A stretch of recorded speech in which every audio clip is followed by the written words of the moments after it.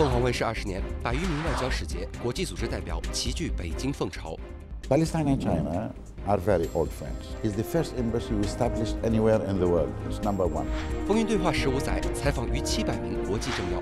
Part of the relation between China and Israel are in the media. It's important to have a TV like Philips TV. 坚持以中国心、中国眼看世界。我经常在家看了一些呃凤凰卫视，也可以了解到中国人怎么看世界。国际形势风云激荡，在最显眼，始终有我们直面世界领袖对话权力核心，从个人风范到立场决策，事件脉络与世界格局在第一时间清晰展现。Really profound, serious, and you asked all the challenging questions, and I congratulate you for such a, a high-level professional interview. 凤凰国际友好日，风云对话邀新客会老友。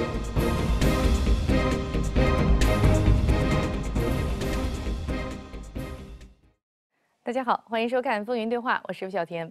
今年是凤凰卫视成立二十周年，同时也是《风云对话》开播十五周年。十五年来，《风云对话》紧跟国际时政脉搏，共采访了七百多位来自世界各国的政要。在凤凰国际友好日当天，我们也和到访的部分大使做起了现场对话，听他们聊一聊在中国的感受，谈一谈对凤凰的印象。我们要看到的第一位大使来自巴勒斯坦，请巴勒斯坦大使率先出场，不仅仅是在过去十五年巴勒斯坦是我们关注的一个焦点，还因为巴勒斯坦大使是活动当天第一位到场的大使，同时这也是他在北京以大使身份参加的第一场活动。Ambassador Madawi, welcome, welcome. So I understand that uh, you are fresh as ambassador to China, and you've been here only for two weeks. So this is like your social debut down in China, is it? Well, thank you very much for having me. I'm quite happy to be in China. It was a dream actually for me to be in China. You see what we say in Arabic uh, that uh, ask for information and knowledge, even up to China. This is an old saying in Arabic, maybe around 2,000 years ago. So, as if uh, this is China where knowledge had started, where civilization had started. And for us, since we are in the west part of Asia, the sun rises also from China and near China or from the east. Mm-hmm. So for me as individual, it was one of my dreams which come true finally. When was the first time you actually visited China, and what was the impression that you mm. had about China before you actually arrived in China? Yeah, this is not my first link with China. Definitely when I was young, not very young, I came here to China representing the Palestinian youth and students. And we've been interacting with the youth of China for quite a quite long time because I was responsible for our foreign relation for the youth. And you have a very powerful youth organization here at the national level. So I'm not totally new to the China and Chinese affairs. Um, uh, but now I am really coming with so much expectations to work and engage between our two peoples and our Yeah, two so governments. As new ambassador to China, do you have any sort of master plans in mind as for how to really enhance the relationship between the two countries? Indeed. Uh, you see, uh, Palestine and China are very old friends. Let me tell you, our embassy, which is now here, is the first embassy we established anywhere in the world. It's number one. So that can tell you how much our relation is very strategic, how much it is close. Chairman Arafat and uh, Chairman Mao Zedong, they were so much close friends, and all leadership. But to be realistic as a diplomat, I think China has changed, things have changed in the whole world. We look like, you know, lovers, but they are not really producing children. We need really to bring some children into our relation. We need to have a meaningful cooperation in all sectors, in tourism, in education, in cultural exchange, in economy, in this. I think this is a very hard task for me. This is my assignment. So I'll be working a lot to fill uh, into this historical relation, which is very warm, but make it useful for the people of China and the people for Palestine. And you know, we are still in need of support of China as well, since you know we are still a country which is still under occupation, and we are looking for freedom and independence as well. So classically, the Chinese people and China had been very supportive uh, to us, uh, based uh, for the love of China for freedom and independence, because we have got some similar past also. Chinese people who are born today are living in an independent, great China. But the old Chinese, they know what's the meaning to struggle for your freedom and for your independence. This is what we are doing right now, and China will support us. We are proud of the help support that the China people and Chinese government are giving to us. 在风云对话十五年间，七百余期节目中，对巴勒斯坦的关注持续且多面。无论是法塔赫与哈马斯之间无休止的分歧，还是巴以问题的旷日持久。二零零三年，时任巴勒斯坦民族权力机构主席亚希尔·阿拉法特接受风云对话的专访。阿拉法特是巴基斯坦人立国诉求的象征，是被本国人推崇的民族英雄。此次更是他首次接受华语电视媒体的访问。You know, you are a fighter all the years in all your life. So how, what kind of thing you can talk to your children the, in the generation to come? That peace is for our children and for their children. To Israel's children. Yes. This is a peace of the grave which we had signed with my partner Rabin, mm -hmm. who had paid his life for the peace of the great. Mm-hmm. 嗯哼。二零零七年，时任节目主持人阮次山先生与团队涉险前往冲突地带加沙，为获得与时任巴勒斯坦民族权力机构主席马哈茂德·阿巴斯再次对话的机会，在枪声四起中匆忙赶赴拉姆安拉，完成了采访。You know, this year marks the 20th anniversary of Phoenix TV. So, what sort of understanding do you have for the change in the media sector in the world? In the past two decades? Yeah, you know, media is uh, becoming more and more too much involved, you know, because they are bringing images, they are bringing style of life, they are educating and informing. Uh, sometimes media have got its own agenda by, you know, highlighting some areas, not highlighting the other. We in, in, in Asia, including China and Palestine, I should say, we've been all the time you know, uh, being covered by other media, not by our own. So people were stereotyping us. I think we have the duty now in our media to um, talk about ourselves and introduce our images to the rest of the world so that people would appreciate us. Because in the past we've been covered by BBC, maybe CNN and others. Now we have our media like Phoenix. I mean, look at these studios and facilities you have. You have the best technology and you have the best human resources who are capable to speak languages and so on. I hope that Phoenix would take on its shoulders the responsibility to cover the average Chinese human being, not only the economy and the political and, and so on, because not yeah, much really power. is known outside. Mm -hmm. People yeah. know too much about China, but they don't know everything about China. China literature, China music, China uh, way of life, China cuisine, everything China. China is one fourth of the whole world and has been a modern state for the last 5,000 years, mm -hmm. maybe 2,000 before any uh, European Speaking of which, I country find came to it very interesting. You see the name Phoenix TV. Yeah, Phoenix, that is it. That is actually a bird that existed, bird, also a. Middle East methodology. This right? is actually, you are a symbol of rebirth. We need to rebirth. Because The nirvana. Yeah, exactly. That's what the bird is doing. He could really vanish, but he comes back all the time. And China the Great is now already great, and I'm sure the media can show that greatness. What does it mean? How much innovation, how much hardworking spirit, how much the Chinese woman is a good mother, how much the Chinese scientists are really innovative and invention, how much China is looking to produce peace, the plan and vision of His Excellency the President, what does it mean, road and belt. Not too many people outside China really appreciate all those things. And this is why you have a very important assignment to do. And I would like to wish you all the best in that.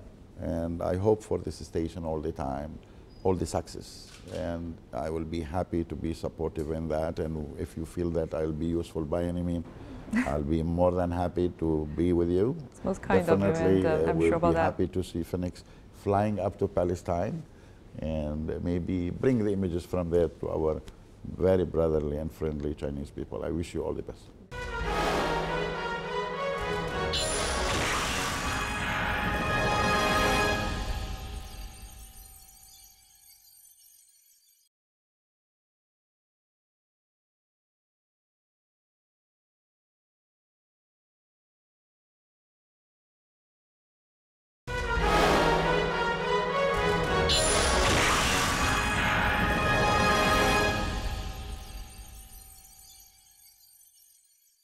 以色列也是风云对话重点关注关切的一个国家。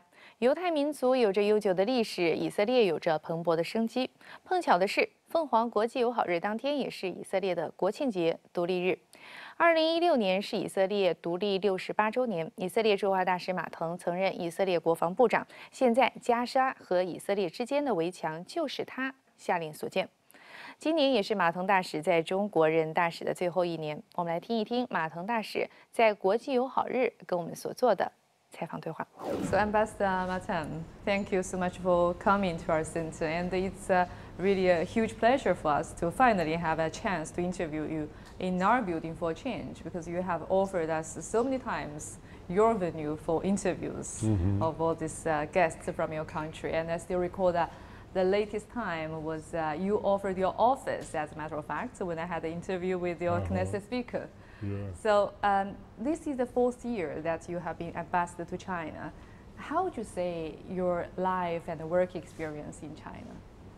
It's uh, a very unique. First of all, thank you for inviting me here, and it's a real privilege to be here in this 20th years uh, of the of Phoenix TV. I understand.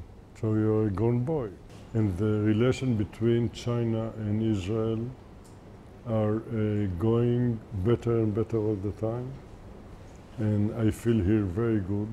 And to live in Beijing, it's wonderful it's really wonderful to be there. Great, great. So as you said that today, actually this year marks the 20th anniversary of uh, Phoenix, and uh, I appreciate that you said that Phoenix now is a big boy, and also understand that in your country there's a military service. It's a compulsory. So uh, when boys or girls reach a certain age, they are uh, supposed to go to the military. And you used to be the uh, defense minister of your country.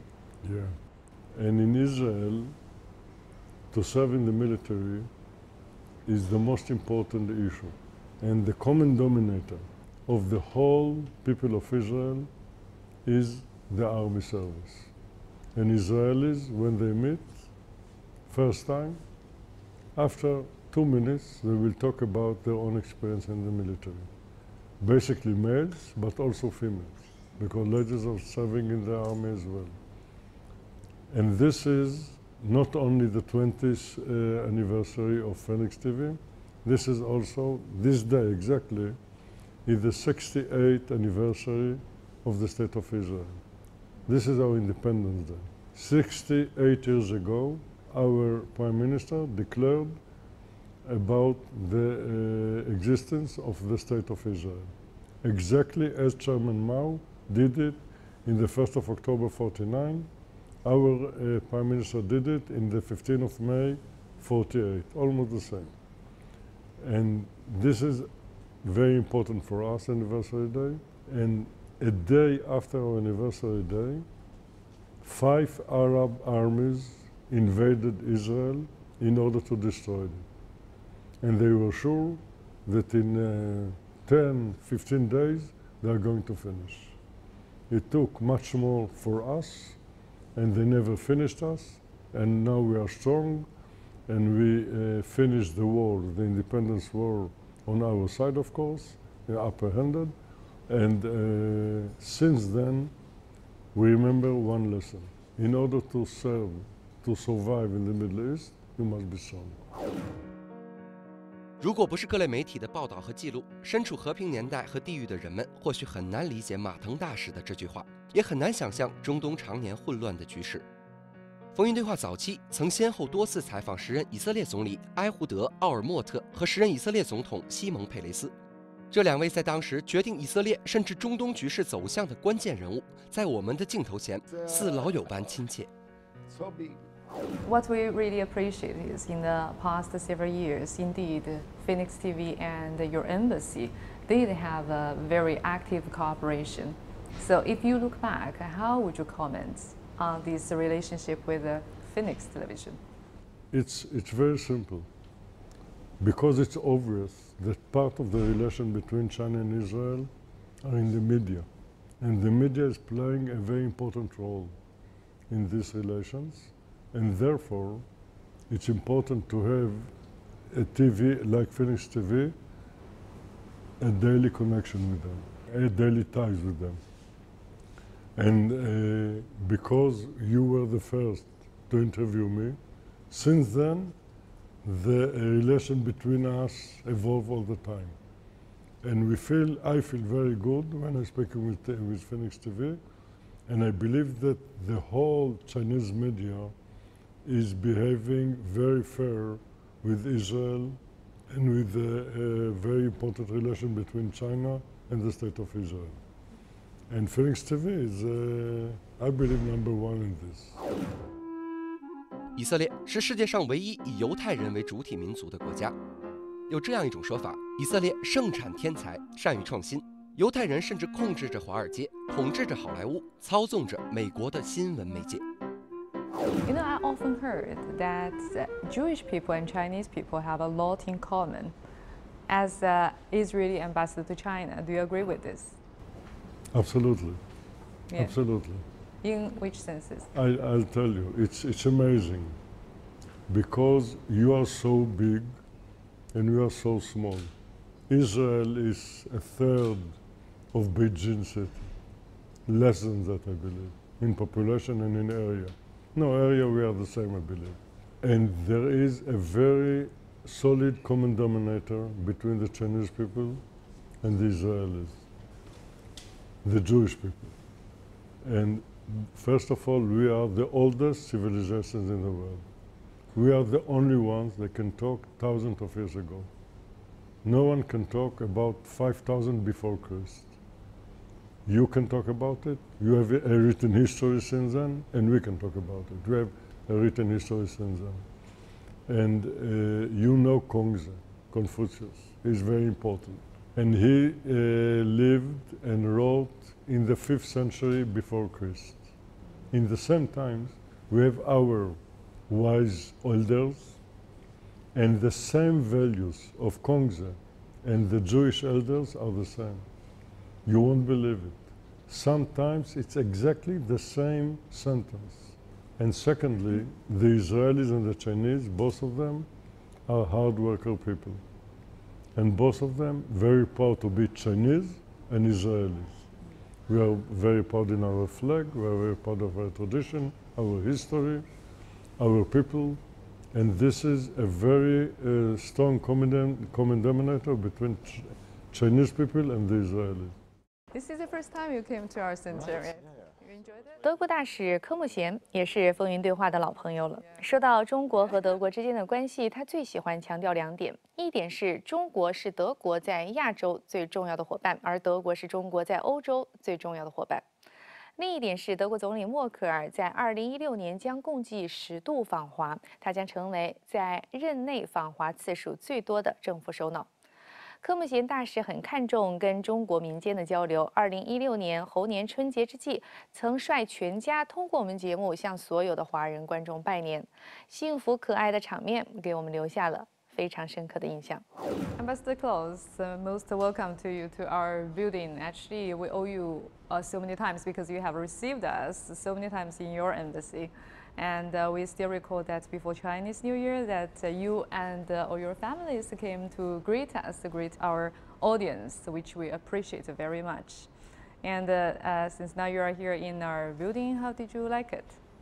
Well, a lot of windows, so it's very nice, very modern, very impressive. It fits well into the architecture of Beijing with many beautiful buildings. Transparent, I think that's important for journalism. Yes, indeed, indeed. Very well said, yes. Very Um, good symbol. Yeah, you once said that uh, Germany is the most important partner to China in Europe, and that China is uh, a most important partner to Germany in Asia. What do you mean by that? Well, politically, we have uh, probably the closest relations. The Chancellor has been here eight times already, and she will come for a ninth time in four weeks. And in uh, early September, she will be here for the tenth time. And also economically, we have very close relations. So the, the closest you have with anybody in Europe, and vice versa, we have in Asia. That's what I mean by this very close political, economic relations. 目前，德国总理默克尔已经完成了他任期内的第九次访华，保持着西方国家领导人任内访华次数最多的记录。除了两国高层的频繁互访， 德国使馆在与中国媒体的交流互动上也十分积极。 How do you find the Chinese media in general, and how do you find the Phoenix television? Well, there's a lot of different media, and you know that we appreciate Phoenix uh, quite a lot, and that's why we love to do things together with Phoenix. Highly informative, transparent, up to the point, objective. Right. So, uh, is there any plan that uh, you have in mind as for how to really enhance the bilateral relationship in the I mean, years to come? Well, you know that uh, we are now going, we're having uh, last year the year of innovation, and that there's going to be a very close cooperation on industrial innovation, which is really at the heart of it, of economic cooperation, and that is something that will continue for at least uh, a decade centered around Industry 4.0 and Made in China 2025. So there's a lot to do in that field. And at the same time, this year we celebrate uh, the year of um, youth exchange. Mm. So we try to get uh, young people uh, together so that they get to know each other better. 距离六月二十三日英国脱欧公投还剩不到一周的时间。根据最新民调显示，脱欧阵营明显领先。 德国外交部长瓦尔特·施泰因迈尔近日发出警告：如果最终英国退出欧盟，那么欧盟可能面临分裂的危险。届时，作为欧洲第一大经济体的德国或被置于十分尴尬的境地。You see now, uh, the the solidarity of Europe or in uh, of EU is now a, really topic of concern. What is your understanding of this? Well, Europe is uh, uh, under a lot of stress right now because of the migration uh, crisis, uh, because of the Greek issue, which uh, still is not completely settled, even if the overall economic and financial situation has improved. And uh, you're aware that in a couple of weeks we will have a referendum in the United Kingdom about whether they will leave the European Union or not. So a lot of difficult issues and problems right now. Yeah. So how do you understand the importance of the relationship between China and Europe? in general?